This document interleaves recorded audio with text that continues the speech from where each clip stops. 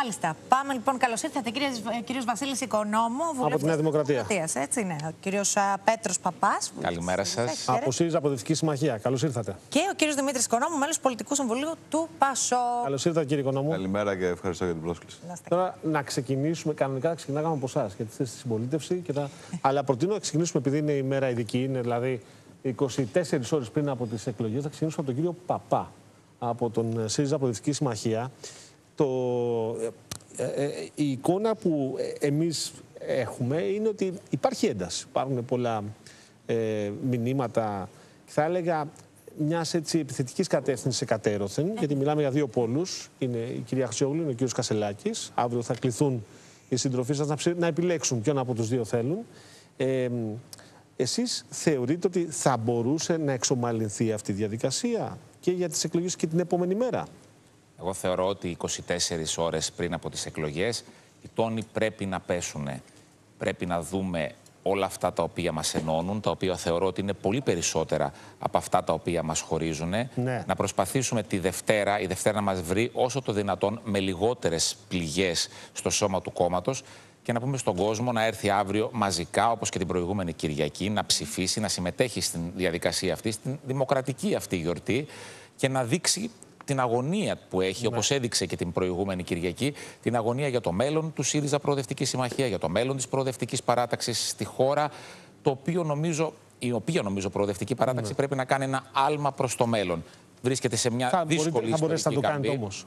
Δηλαδή, εδώ είδαμε, το συζητάγαμε χθες πριν από λίγο με τους συναδέλφους μας. Είδαμε τον Άδωνη Γεωργιάδη, τον Υπουργό ε, Εργασίας. Εργασίας, ακριβώς. Να, να, να υπερασπίζεται τον Νίκο Φίλη στο Κοινοβούλιο, απαντώντας στην κυρία Τζάκρη. Αυτό θα μπορέσετε να το πετύχετε, θεωρείτε, την επόμενη μέρα; Εμείς αυτό που θα πετύχουμε θα μας το επιβάλλει η βάση μας. Και η βάση έχει δείξει του ΣΥΡΙΖΑ ότι θέλει να προχωρήσουμε ενωμένοι. Και μάλιστα το σχέδιο για την επόμενη μέρα πρέπει να είναι η περαιτέρω διεύρυνσή μας, η απεύθυνσή μας σε ένα ευρύτερο προοδευτικό ακροατήριο, το οποίο αυτή τη στιγμή δεν έχει ε, κάποιον να το αντιπροσωπεύσει. Οπότε νομίζω αυτό πρέπει να κάνουμε. Πρέπει να ρίξουμε τους τόνους, να αφήσουμε τις αντιπαραθέσεις. Είμαστε 24 ώρες πριν την κάλπη και οι ψηφοφόροι αύριο, ο κόσμος του ΣΥΡΙΖΑ, νυφάλια να έρθει να ψηφίσει. Του Ναντίον, βέβαια, κύριε Παπά, επιτρέψτε μου, ανέβηκαν οι τόνοι 48 ώρες πριν τις εκλογές. Δηλαδή, αυτό που είδαμε τις τελευταίες δύο μέρες, τρεις, ε, δεν το έχουμε δει τόσο καιρό.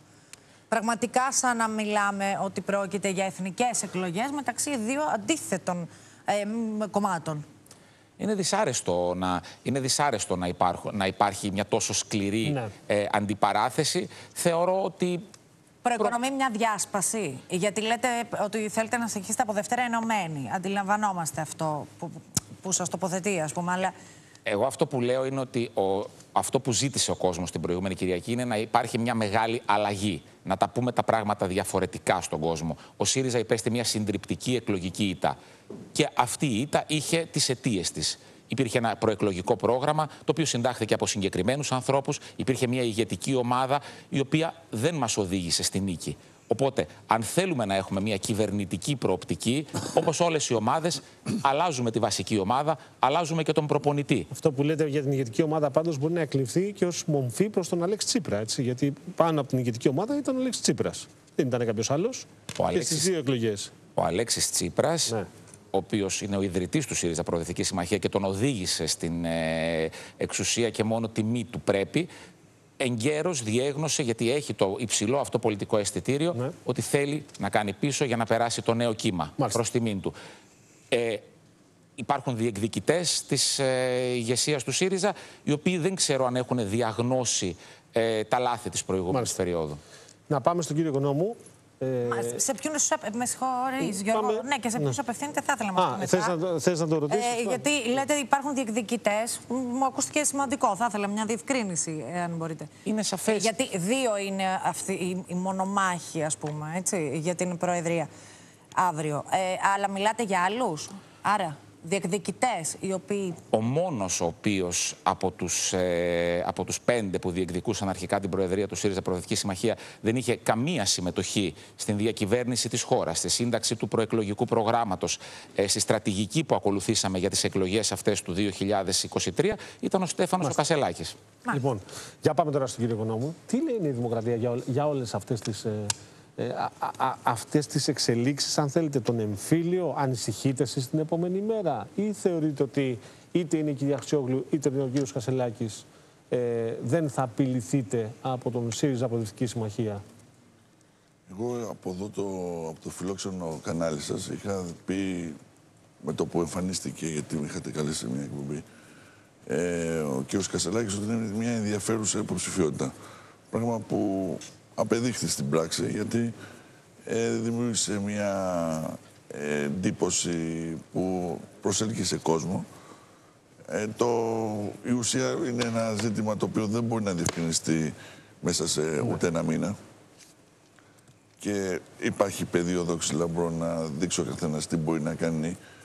Τα, οι αστοχίες και τα λάθη υπάρχουν από τη μεριά του κ. Κασελάκη και δείχνουν ότι μάλλον θα πρέπει να καταλάβει και ο ίδιος ότι η πολιτική δεν είναι ένα σπριντ. Είναι μαραθώνιος. Αυτό σας λέω και από πείρα. Όποιος κατέβει και κάνει εκατοστάρι, δεν θα έχει το καλό. Γιατί επικαλέστηκε την κούραση, αν δικαιολογήσει ε, το, το λάθος που έκανε με το κρατήριο. Είπε ότι είμαι άϊπνος, είπε ότι μιλάω συνέχεια, ότι ε, δεν, έχω συνηθίσει. Αυτά, αυτά, δεν έχω συνηθίσει σε αυτή τη Αυτά δικαιολογούνται μέσα σε λίγες ημέρες έντασης, αλλά εγώ νομίζω ότι ο κόσμος θα ζητήσει συγκεκριμένες τοποθετήσεις και ειδικά αν κερδίσει, φαίνεται έχει το προβάδισμα αύριο, ε, από τη Δευτέρα αρχίζουν τα δύσκολα. Δεν είναι τα δύσκολα τώρα να κάνεις ένα, μια εξπρές ε, πορεία και αν κερδίσεις. Αυτό είναι η έκπληξη, είναι, έχει δημιουργηθεί ένα ενδιαφέρον, αλλά πάμε στην ουσία της πολιτικής. Τι λες, τι λέει. Ναι. Είναι το καινούριο, είναι το παλιό με εικόνα καινούριου, είναι κάτι διαφορετικό. Όλα αυτά θα κρυθούν. Η Νέα Δημοκρατία έχει το, την πορεία της, έχει το πρόγραμμά της. Η κυβέρνηση είναι υποχρεωμένη να τοποθετείται επί των συγκεκριμένων. Δεν κάνουμε τώρα εδώ φιλοσοφίες εμείς. Ο κ. Κασελάκης έχει την πολυτέλεια σήμερα να φιλοσοφεί επί της πολιτικής, αλλά από τη Δευτέρα θα είναι ο αρχηγός της εξωματικής αντιπολιτεύσεως και ας μην είναι βουλευτής, έχει την ευθύνη να πει συγκεκριμένα πράγματα. Δηλαδή, είναι κρατήδιο τώρα η Βόρεια Κύπρος ή είναι ένα ψευδοκράτος. Είναι, τι να σας πω τώρα, για την ΑΟΣ τι θα πει, για το υφαλοκρηπίδα τι θα ναι. πει; Είπε χθες έβγαλε βίντεο για όλα τα θέματα αυτά. Εφτά βίντεο έβγαλε η αλήθεια. Είναι που δεν το έχει ξανακάνει η Εντάξει, εντάξει. Ε, αυτά ναι. λοιπόν είναι. Όχι ο Κασελάκης, ο κάθε ναι. αρχηγός κόμματος. Και η κατάρρευση, είναι... με συγχωρείτε, ήταν και τα πυραβέλη, για να είμαστε δίκαιοι, έτσι. Ο κάθε αρχηγός κόμματος, αλλά και εμείς οι βουλευτές. Δεν μπορούμε να είμαστε απροετοίμαστοι, ερχόμαστε απροετοίμαστοι, ούτε καν στην εκπομπή σας. Δεν μιλάω να έχεις μέσα στη Βουλή όταν είναι ψηφίζονται. Είναι τονικό αυτό, να έρθει κάποιος βουλευτής σε μια εκπομπή τηλεοπτική ή ραδιοφωνική ε, Και το έχουμε δει. Ε, αλλά εγώ δεν ρωτήσω το εξής. Σας ακούω τώρα όσο τοποθετήσετε. Αναφέρετε στον κύριο Κασελάκη για την κυρία Αξιόγλου δεν έχετε η Νέα Δημοκρατία εννοώ, να, να πείτε κάτι. Ήταν κυβερνητικός τέλεχο κυβέρνηση ΣΥΡΙΖΑ με πολύ μεγάλη συμμετοχή στο, στη δουλειά που έκανε η κυβέρνηση του Αλέξη Τσίπρα. Ε, και είναι και βέβαια και ένας αντίπαλος ιδεολογικός παραδοσιακός. Τα τελευταία 10 τουλάχιστον χρόνια ε, της Νέας Δημοκρατίας. Για την κυρία Αξιόγλου δεν έχει να πει κάτι η Νέα Δημοκρατία; Κοιτάξτε, είναι ένα αξιόλογο τέλεχο. Εγώ δεν θέλω να ακυρώσω του καθενός την παρουσία. Έχει κυβερνητική θητεία, έχει κρυθεί βέβαια.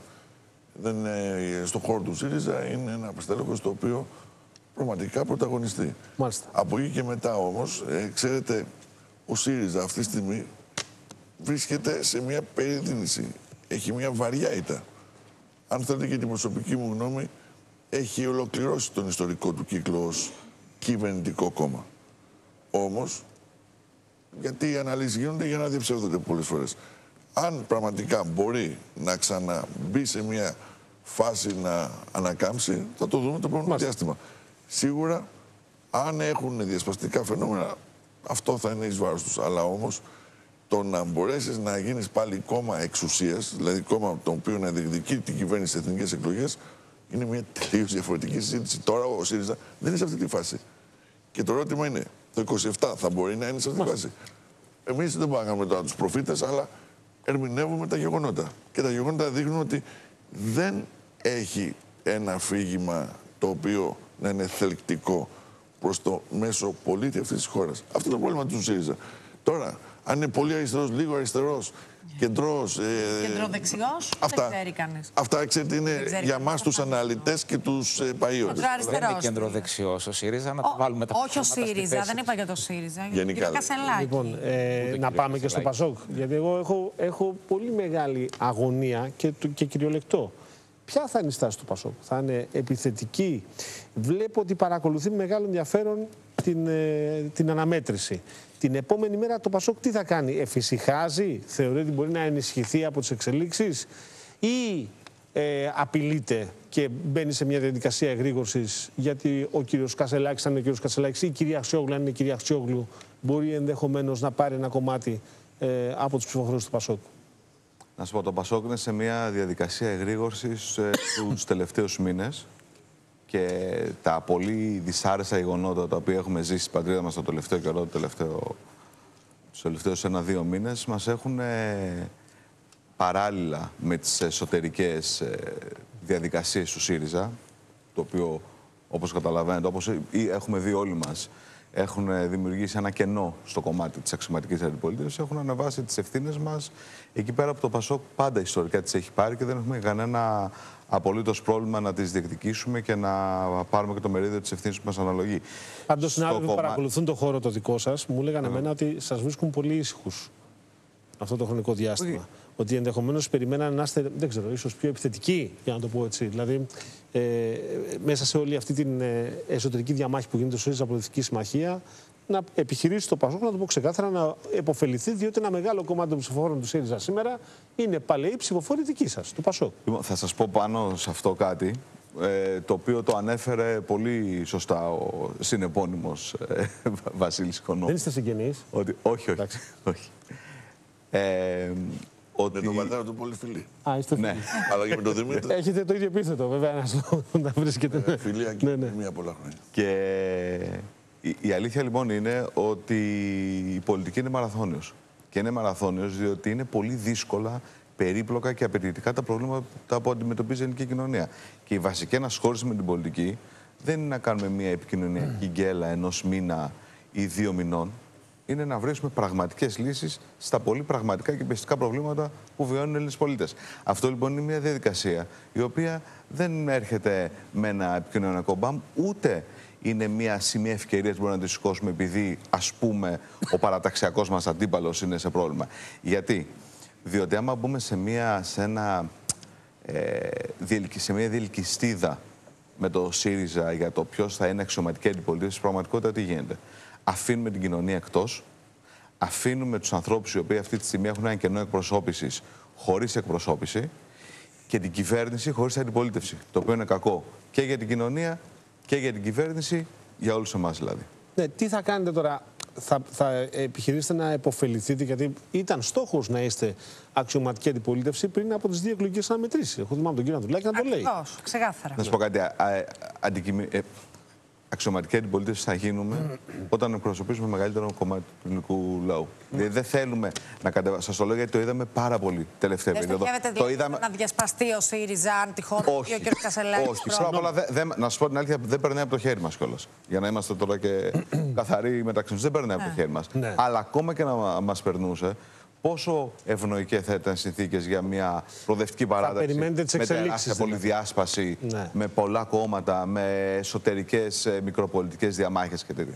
Το λέω γιατί είδαμε πολύ καιρό, ναι. το βλέπουμε ακόμα και τώρα από διάφορους εκπροσώπους ε, της Νέας Δημοκρατίας να βάζουν πιο χαμηλά τον πύχη. Δηλαδή να λένε, Ε, τι θέλετε, θα προτιμούσατε να είχαμε την κυβέρνηση ΣΥΡΙΖΑ; Αλλά αυτό δεν αρκεί στους Έλληνες πολίτες. Δηλαδή, αν, αν είσαι κάτοικος της Θεσσαλίας και έχεις ζήσει όλα αυτά που ζήσανε τις οι άνθρωποι τις τελευταίες εβδομάδες, τους αρκεί που ο Υπουργός ε, Πολιτικής Προστασίας δεν έχει την ταμπέλα ΣΥΡΙΖΑ ή δεν έχει την ταμπέλα Νέα Δημοκρατία. Αυτό που του αρκεί είναι να έχεις έναν Υπουργό και μια κυβέρνηση που είναι ικανή να λύσει προβλήματα. Και είναι πολύ σημαντικό για το σύνολο του πολιτικού συστήματος να σταματήσει να βάζουμε το, χαμ... το πύχη πιο χαμηλά. Δηλαδή να βρίσκουμε έναν εύκολο αντίπαλο και να πούμε: Ωραία, εμείς θα είμαστε πιο ψηλά από αυτούς. Μάλιστα. Κύριε Παπά, ε, θεωρείτε ότι ε, εάν ας πούμε εκλεγεί η κυρία Χτσιόγλου, θα την υποστηρίξουν, θα παραμείνει ο κύριος Κασελάκης; Αν αντίστοιχα εκλεγεί ο κύριος Κασελάκης, θα υπάρξει, μιλάνε, υπάρχουν σενάρια ότι θα κάνει ανασχηματισμό στο ΣΥΡΙΖΑ, ας πούμε.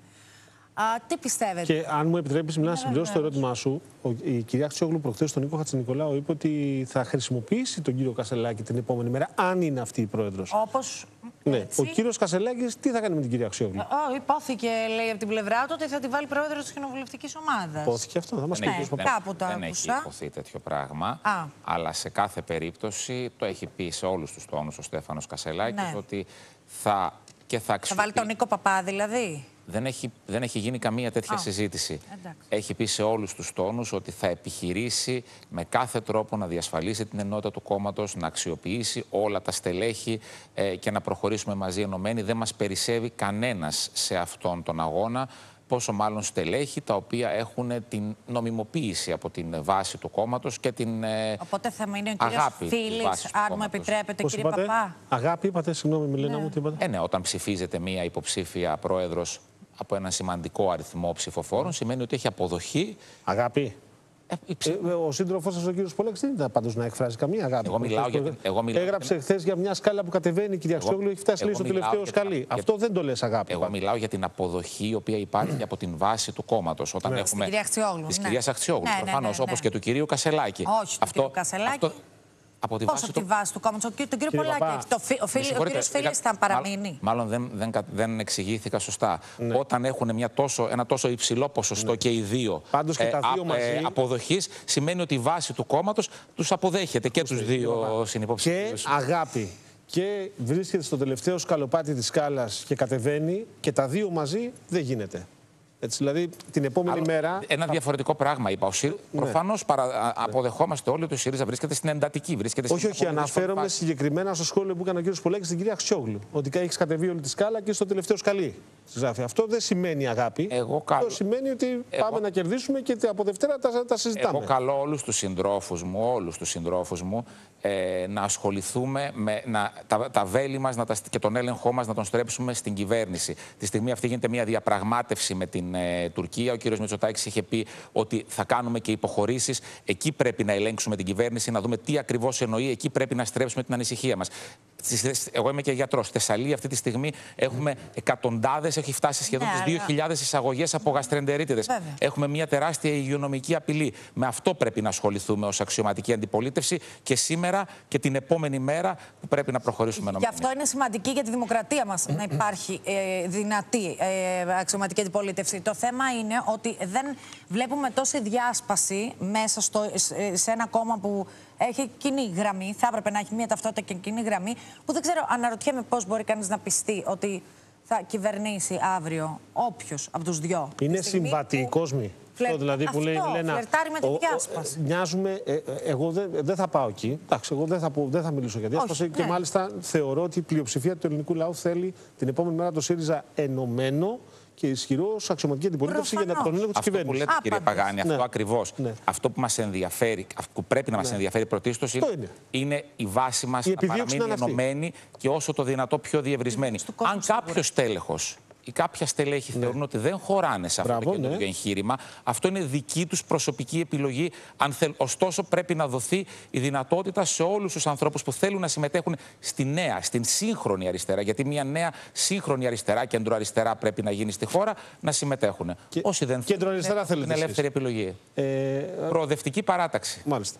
Ε, ε, εγώ να ρωτήσω, ε, νιώθετε ασφαλείς εσείς με, με λάθη σαν αυτό που έκανε ο, ο κύριος Κασελάκης στην ε, αναφορά, την ατυχή αναφορά θα έλεγα, ε, περί κρατηδίου.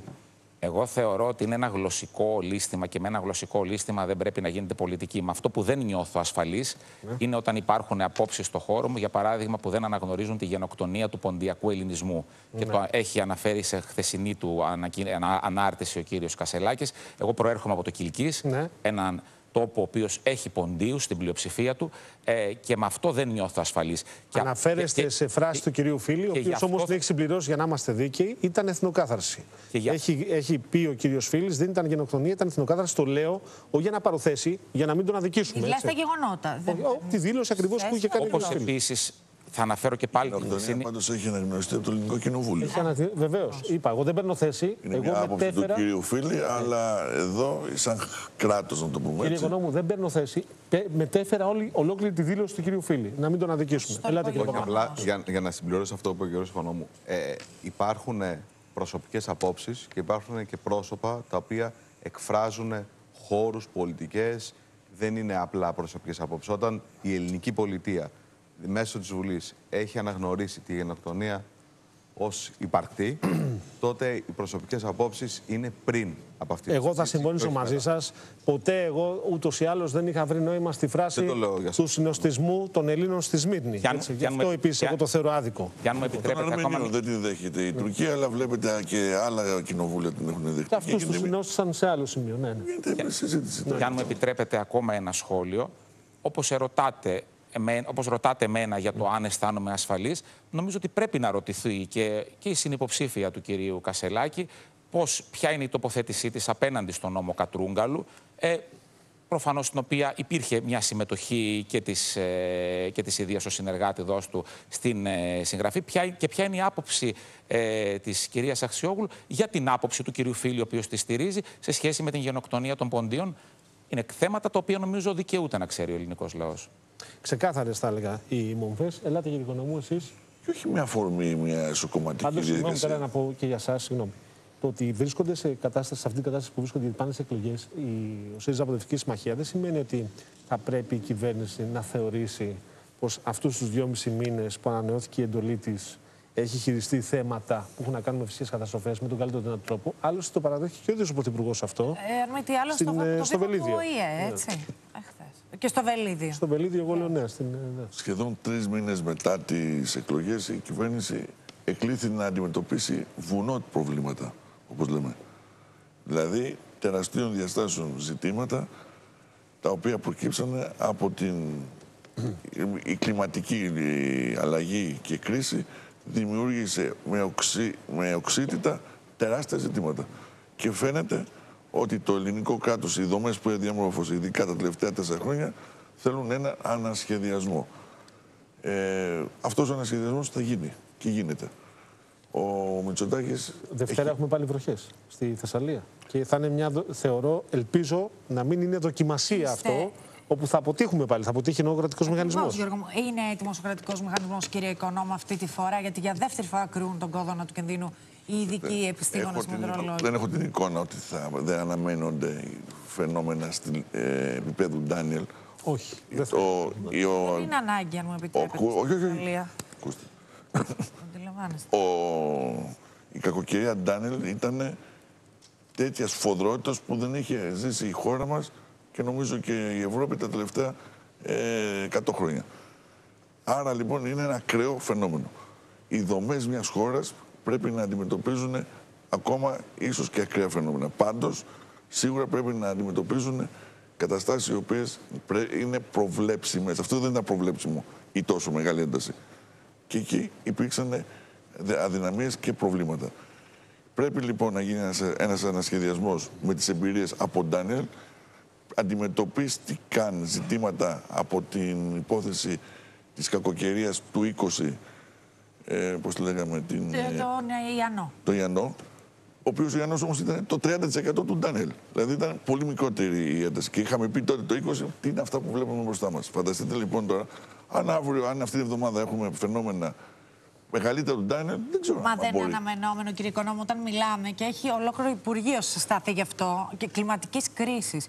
μιλάμε ότι θα έρθουμε αντιμέτωποι με φαινόμενα που δεν, ε, με τα οποία δεν είναι γνώριμα στην Ελλάδα τουλάχιστον. Γι' αυτό λοιπόν πρέπει να υπάρξουν νέα πρωτόκολλα, νέες συγκροτήσεις, νέες συνθέσεις μέσα στο χώρο της κυβέρνηση, όχι της κυβέρνησης, του κράτους. Το Υπουργείο αυτό το οποίο δημιουργήθηκε για να αντιμετωπίσει πλέον συστηματικά αυτά τα θέματα πρέπει να δείξει Μάλιστα. ότι ε, αντιλαμβάνεται τα προβλήματα όπως αυτή τη στιγμή παρουσιάζονται. Ο Μητσοτάκης, και ολοκληρώνω, δεν έχει πρόβλημα να πει γίνανε λάθη ή δεν γίνανε λάθη. Αυτό θα ήταν ένας, υπε- το- ένας μη πραγματικός προ- προ- πρωθυπουργός άμα δεν έβλεπε τα προβλήματα και τις αδυναμίες. Το ζήτημα είναι μπορεί να τις ξεπεράσει. Έχει βάλει ένα σχέδιο. Φαίνεται ότι αυτός, αυτό είναι σε εξέλιξη ένα τέτοιο σχέδιο ανασυγκρότησης του, τουλάχιστον της πολιτικής προστασίας. Η πολιτική προστασία, θέλω να θυμίσω ότι μέχρι το 19 ήταν μια παραπέουσα και παράπλευρη κρατική λειτουργία τέταρτης πέμπτης κατηγορίας. Δεν έδινε κανένα σημασία. Σήμερα, εκ των πραγμάτων βέβαια, όποια κυβέρνηση και να έρθει, θα είναι πρώτης, προτεραι- θα ήταν- θα είναι πρώτης ιεράρχης στα ζητήματα αυτά. Το θέμα είναι, είμαστε έτοιμοι; Νομίζω βάζουμε το λιθαράκι, βάζουμε Θα το δούμε. την συγκρότηση έτσι ώστε να πούμε ότι έχουμε και θα φτάσουμε σε ένα επίπεδο το επόμενο διάστημα μια πολιτική προστασία ευρωπαϊκού επίπεδου αντίστοιχη. Ακριβώς ότι όταν μιλάμε για λάθη δεν μπορούμε να μιλάμε για ε, να χάνει τη ζωή του έστω ένας άνθρωπος, κύριε Οικονόμου. Μιλάτε, κύριε Αντιλαμβάνεστε. Οικονόμου. Λοιπόν, Είναι προτεραιότητα, είναι προτεραιότητα αυτό, όντως. Αυτή είναι μια συζήτηση η οποία δυστυχώς φοβάμαι ότι ήρθε για να μείνει. Διότι η κλιματική αλλαγή δεν θα ε, την ξεχάσουμε σε ένα χρόνο, ούτε είναι μια ε, εικόνα της στιγμής. Εδώ πέρα υπάρχουν τρεις διαφορετικοί πυλώνες. Στην περίπτωση του Ντάνιελ, ο κρατικός μηχανισμός απέτυχε και στους τρεις. Ο ένας είναι να φτιάξουμε υποδομές οι οποίοι μπορεί να εξομαλύνουν ακραία καιρικά φαινόμενα Ναι. να έχουμε, μια, να έχουμε την εικόνα ότι θα πέσει βροχή αντίστοιχη με τον Ντάνιελ και ότι δεν θα δημιουργηθεί κανένα πρόβλημα, προφανώς δεν υπάρχουν αυτές οι υποδομές. Όμως μπορεί να εξομαλυνθούν ώστε μετά να μπορεί να τεθεί σε εφαρμογή σχέδιο το, υπάρχει, το οποίο υπάρχει από πριν για το τι κάνουμε σε τέτοιες Ναι. συνθήκες. Όχι μόνο το 112. Το 112 είναι ένα πολύ σημαντικό εργαλείο, πολύ χρήσιμο εργαλείο. Καλά κάνει η κυβέρνηση και το χρησιμοποιεί, αλλά δεν μπορεί να μένουμε σε αυτό. Και εξηγούμε. Τι πήγε στραβά, γιατί εδώ πέρα αρχίζει το, Το κομμάτι του 112 πρέπει σχεδιασμού. να το δεχτούμε τώρα ότι ήταν η αιτία που είχαμε μικρές απώλειες. Είδατε στην. Θα μου πείτε δεν είναι συγκρίσιμο γιατί είναι Και μια μεγάλη χώρα είναι άλλης. όμως το 100 πριν Μια έρθει. άλλη συγκρότηση είναι η Λιβύη. Αλλά όμως σε χώρα που δεν είχε το 112 πρώτης κατηγορίας όπως είναι η Αμερική. Να- η να- Χαβάη να δηλαδή πω- δεν είχε την Να προετοιμασία. πω όμως αυτή. το εξής. Στο Απλά για να δεύτερο είμαστε δίκαιοι, κομμάτι. κύριε Οικονόμου, να μείνει πολύ, χρόνος πολύ γρήγορα. και- Πολύ γρήγορα. και Λοιπόν, το στο κύριο δεύτερο Παπά. κομμάτι λοιπόν, που είναι ότι πρέπει να υπάρχει ένα σχέδιο το οποίο είναι από πριν έτοιμο. Άρα, να στείνεται κέντρο επιχειρήσεων τρεις μέρες μετά τον Ντάνιελ δεν είναι εικόνα ενός σοβαρού οργανωμένου κράτους. Να έρχεται ο στρατός να βοηθάει για τα νεκρά ζώα τόσες μέρες μετά με εντολή πρωθυπουργού ύστερα από μία εβδομάδα και στο ενδιάμεσο να δημιουργηθεί μια οικο- ε, υγειονομική βόμβα, πάλι δεν είναι εικόνα οργανωμένου και σοβαρού κράτους. Και βέβαια το κομμάτι των αποζημιώσεων, διότι πολύ φοβάμαι Άμεσα, ήδη ότι μπαίνουν- αν δεν, πέσουν, μπαίνουν αν ήδη δεν χρήματα. πέσουμε. Γιατί κύριε Οικονόμου δεν είναι μόνο οικονομικό. Οι άνθρωποι αυτοί ξεριζώθηκαν, ξεριζώθηκαν αλλά το σύνολο της ζωής τους και της κοινωνικότητάς τους. Μάλιστα. Οι γειτονιές τους, τα σπίτια τους, οι δουλειές τους. Κατανοείται. Όλοι. Πα- η πάντως, για πρώτη παραγωγική φορά βάση. παίρνει ήδη Βοηθήστε μας χρήματα. λίγο με Χρήματα το ήδη χρόνο. παίρνει. Έχει τελειώσει. Άρα αυτός είναι ο τρίτος πυλώνας. Υποδομές, ένα σχέδιο να τεθεί σε εφαρμογή από πριν έτοιμο και το κομμάτι των αποζημιώσεων για να μην έχουμε ερυπωμένες περιοχές της πατρίδα μας. Καλή ψήφο, κύριε Παπά. Σας ευχαριστούμε, κύριε Οικονόμου. Προσκαλούμε τον κόσμο να ψηφίσει. Και εσάς, κύριε Οικονόμου. Ο κύριος Βασίλης θερμά. Οικονόμου, Κύριε Νέα Δημοκρατία. Οικονόμου, Όχι, καλή ψήφο. Σας ευχαριστούμε. Κύριος θερμά. Πέτρος Παπά από ΣΥΡΙΖΑ Αποδευτική Συμμαχία και ο κύριος Δημήτρης Οικονόμου από το Να είστε ΠΑΣΟΚ. καλά. Ευχαριστούμε πολύ. Να είστε καλά. Λοιπόν, τώρα